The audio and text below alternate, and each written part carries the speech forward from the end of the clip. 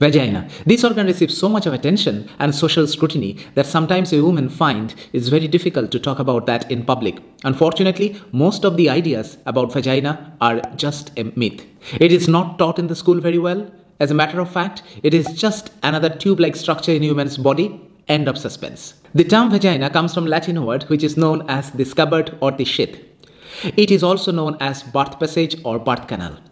It has got a lot of funny and rich nerve supplies which makes it pleasurable at certain moments of life. This video you are going to listen is a part of our Anatomy with Coffee series. In our Anatomy with the Coffee series videos, we try to give you a friendly take on women's gynecological anatomy. We have already made few videos on ovaries, uterus, cervix and various other gynecological organs. If you are interested, go and find them. I will link it somewhere in the description.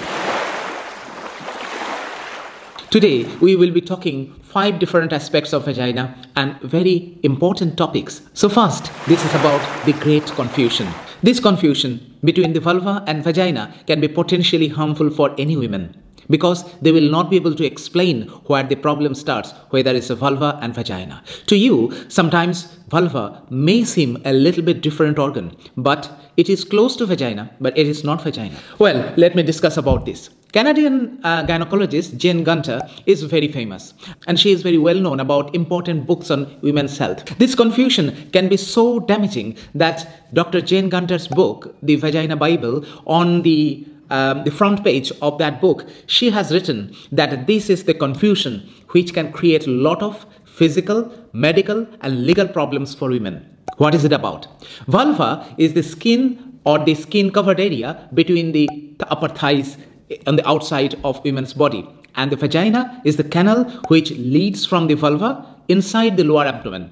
So that is the difference between the vulva and vagina. Using the term vagina instead of vulva or vulva instead of vagina can create a lot of confusion and sometimes women do not get the right medical attention for the right problem. When we are talking about the vulva and vagina, we also must talk about an interesting part of women's life which is known as hymen. Hymen is nothing but a soft skin tag at the entrance of the vagina and whatsoever it has got no relation regarding virginity. And unfortunately, reconstruction of hymenal tag is a multi-million dollar industry in cosmetic gynecology to show that women is virgin at the time of waiting. I hope this practice ends one day. Number two, the anatomy. It is deviously simple. As I said, it is just a canal in women's body. Through this canal, the doctors and nurses can take a close-up information from lower abdomen. Essentially, vagina is a window for lower abdomen status. With internal examination, a gynecologist can check uterus, even ovaries. A lot of gynecological conditions can be checked via so-called simple vaginal examination. It can also pick up information of urinary bladder and rectum, that is potty passage. That is not the end. Gynecological ultrasound is always recommended to be done via vagina. This is known as transvaginal ultrasound. The old style ultrasound is done via abdominal route that is from top of the abdomen. But nowadays, more high resolution picture can be obtained with the transvaginal ultrasound and essentially most of the researches in modern gynecologies are based on findings of transvaginal ultrasound. That means the ultrasound which is done through vaginal route. No it is not a surgery. It is not painful. There is no cutting. It is a simple examination. As long as you find the right radiologist to do it and you can stay relaxed. A good quality vaginal ultrasound is an art and it needs very well trained doctors and nurses and proper environment to ensure privacy of women. Needless to say, I must mention one thing that there is an examination called two finger test. And I should use the term, there used to be an examination called two finger test. We have never used that, and most gynecologists never used it. But unfortunately, somewhere in India, it used to be practiced to check if the woman was subjected to sexual Unfortunately, this is not the right test to check such things. And of course, Supreme Court of India has finally banned this test. Normal vaginal examination or gynecological examination or internal examination is not two finger test. Normal vaginal examination or internal examination can give a lot of valuable information about women's health condition and it is an acknowledged test in day-to-day -day gynecological clinic. This can make a big difference in the outcome of a woman because it gives a lot of valuable information to the doctor about your condition. Number three point cleaning. How to clean the vagina? An answer I'm sure is going to surprise you. Vagina cleans itself. If you do not believe, listen to it. Vagina has got its own army of normal microorganisms which clean the vagina from inside out. You do not need any store bought cleaning solution to clean the vagina. That can actually do more harm than good. Over hundreds of years, women never used any vaginal cleaning solution, but nowadays, thanks to all these flashy advertisements and endorsements by certain personalities, women are slowly moving towards using these vagina cleaning chemicals. In spite of the claim that it maintains the pH of the vagina, it may not be helpful for these friendly microorganisms which cleans the vagina.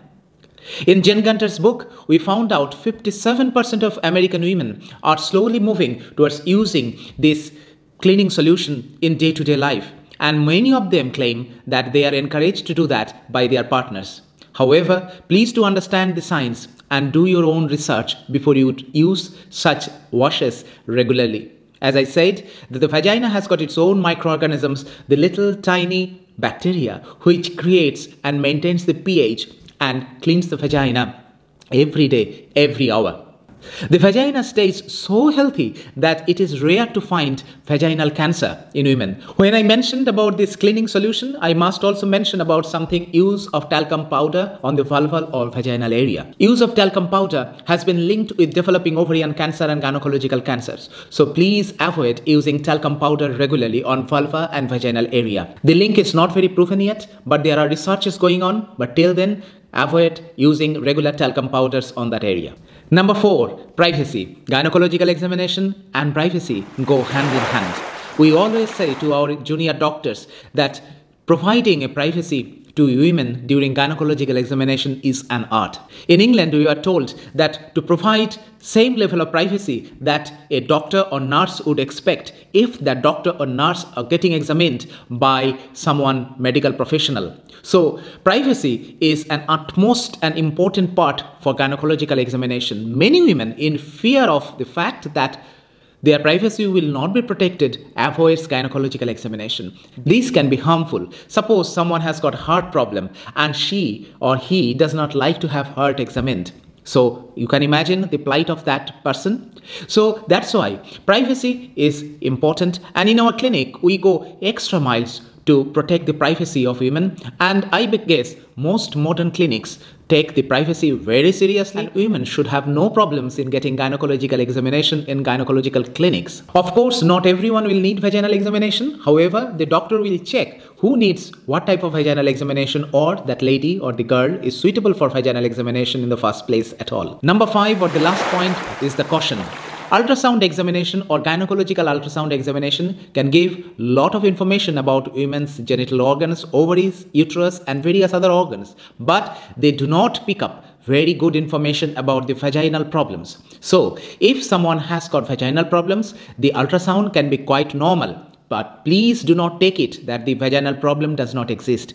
Go to your doctor because the ultrasound scan is not designed to pick up vaginal problems. So discuss with your doctor in detail before you come to the conclusion that a normal good ultrasound scan means that you do not have any vaginal problems.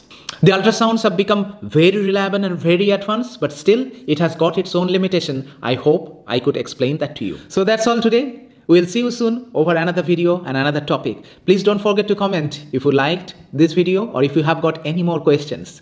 Namaskar.